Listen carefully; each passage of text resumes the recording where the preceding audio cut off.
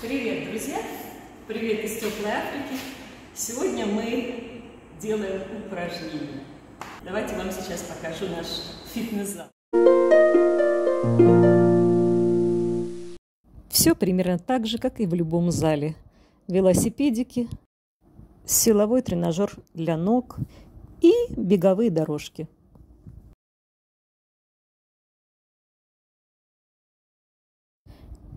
И здесь же рядом, вот она, фитнес-станция, силовой тренажер на разные группы мышц. Здесь же даже столик для тенниса, для любителей тенниса. И вот здесь другого рода велосипеды, эллиптический тренажер. А здесь рядом на кросс-овере занимается мой сын.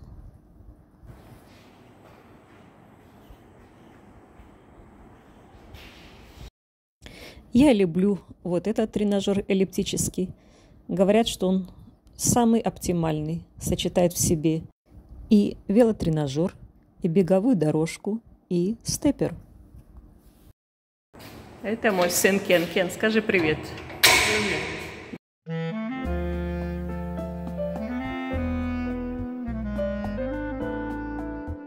Вот такой зал. А здесь где-то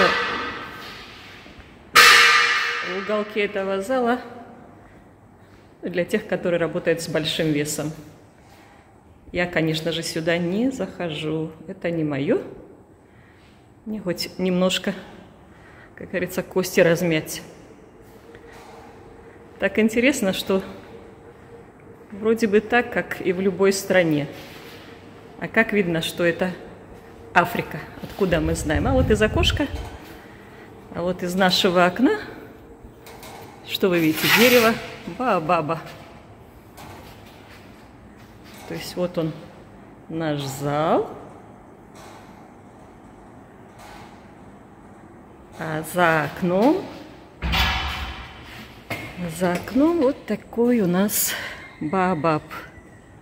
Вот они плоды баобаба уже у нас есть.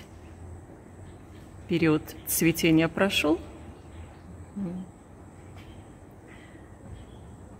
Здесь работают люди. Это исследовательский центр.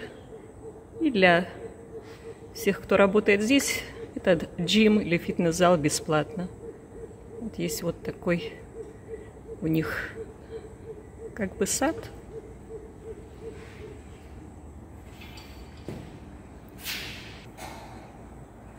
Да, вот такой сад.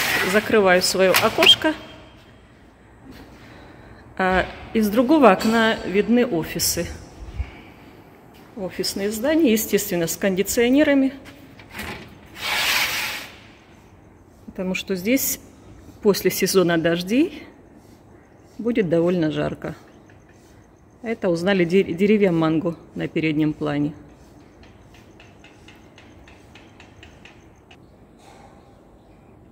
И вот тоже из другого окна вот такой вид. Несколько работников припарковали здесь. Обычно здесь паркуются прямо под деревьями, чтобы было в тени.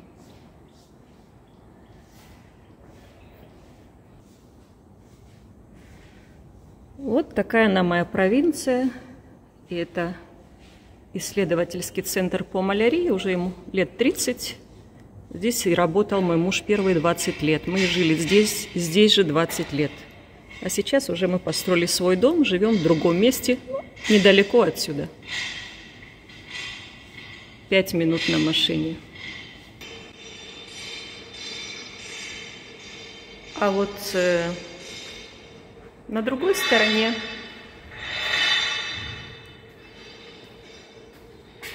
сейчас открою окно. Открываем окно сетку закрываем. Давайте открою, чтобы показать. То есть вон там за забором уже виднеется улица с ее домишками, где живут провинциальные жители. Ну а внутри и есть территория исследовательского центра, который был создан, построен совместно с американскими партнерами – Сюда всегда приезжали иностранцы, исследователи и студенты, кто так или иначе связаны с американскими университетами, хотя национальности этих студентов разнились. Это были не только американцы, но и вьетнамцы, китайцы, французы, немцы, австралийцы, японцы. У меня остались очень хорошие впечатления от общения со всеми ими. И даже сейчас многие наши блогеры, живущие в Америке, подтверждают, что американцы очень открытые и душевные люди, всегда рады помочь. Это действительно так. И именно здесь, в Африке, общаясь с разными людьми, я усвоила одну простую истину. Нет ни одной страны, которую обычно пропаганда называет плохой. Таких стран нет – потому что везде есть хорошие люди, в любой стране мира. Поэтому на изречение типа «вся страна X плохая» закрываю свои уши и отвергаю это сразу же. Именно это и помогло мне иметь друзей, настоящих друзей здесь, независимо от национальной принадлежности. Со всеми ими мы общались на английском языке, хотя самую первую женщину я встретила здесь еще по приезду в конце 90-х она была из Киева, моя землячка. Но в те же 90-е она переехала со своей семьей в другой город Ганы, сейчас она уже в столице. А я, русскоговорящая украинка, осталась здесь навсегда. Кстати, здесь, в этом исследовательском центре, интернет уже был проведен во время еще кнопочных телефонов. Но это была эпоха, эпоха интернет-кафе по всему миру, если вы помните – Дома тогда интернета не было. А у нас здесь в провинции был, ну, благодаря тому, что мы жили прямо здесь, в этом центре. Спасибо нашим американским партнерам. Многие врачи, приезжая из столицы, завидовали местным врачам, ведь здесь были возможности учиться за границей, благодаря этим связям. А обмен студентами был взаимный, то есть студенты из-за границы приезжали сюда, в эту провинцию, жили здесь кто месяц, кто пару, а кто несколько лет. Занимались исследованиями, писали публикации, посещали международные конференции. Вот такие преимущества жизни были здесь, в провинции, а не в столице. И даже вот такой фитнес-зал у них есть. Правда, один на всю провинцию. Хочу спросить у вас, друзья, может, кто знает, вот этот тренажер, они его называют массажер – Принцип простой. Становишься, оно как бы тебя трясет. Просто вибрация, ничего не делаешь. Вот сюда становишься, и оно начинает трясти. Насколько оно полезно, что оно дает, дает здоровью. Потому что я прочитала в некоторых источниках, что э, ритм сердца может быть нарушен благодаря вот такому девайсу. Правда это, неправда? Насколько это серьезно, ну, я избегаю пока вот такого тренажера. Может, кто знает, в чем польза или наоборот не польза.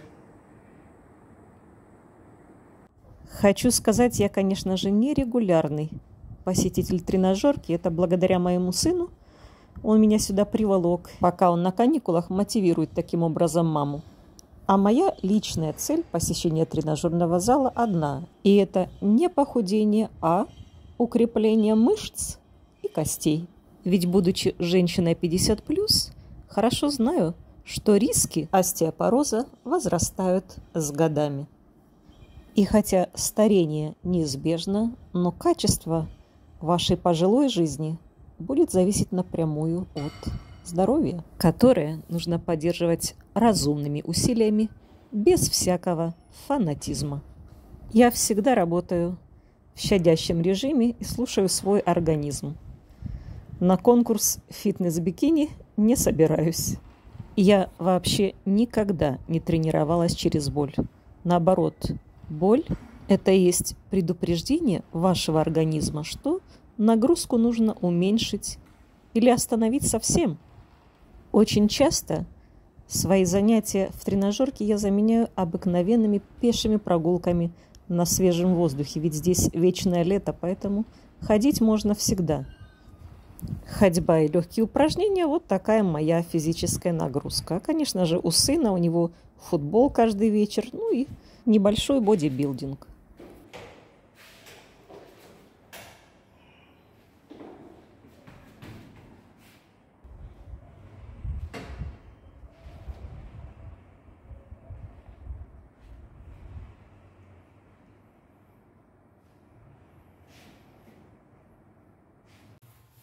А я, как говорится, сворачиваю удочки, ну, эти коврики для йоги.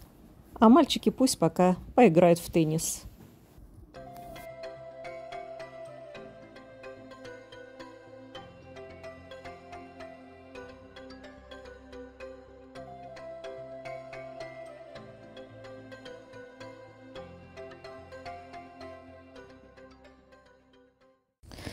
Вот вышли из тренажерного зала, и я смотрю, что цветы, которые были здесь посажены, вернее кустарники, почему-то их выкопали. Не знаю почему, может хотят пересадить в другое место. Здесь, на севере Ганы, в сухом климате, так редко встречаешь цветы. Я всегда радуюсь, когда их вижу. Поэтому мне жалко, почему их выкопали. Надеюсь, их просто так не оставят погибать. Пусть растут, цветут, и украшают мою теплую Африку. До новых встреч, друзья! Благодарю всех вас за просмотр.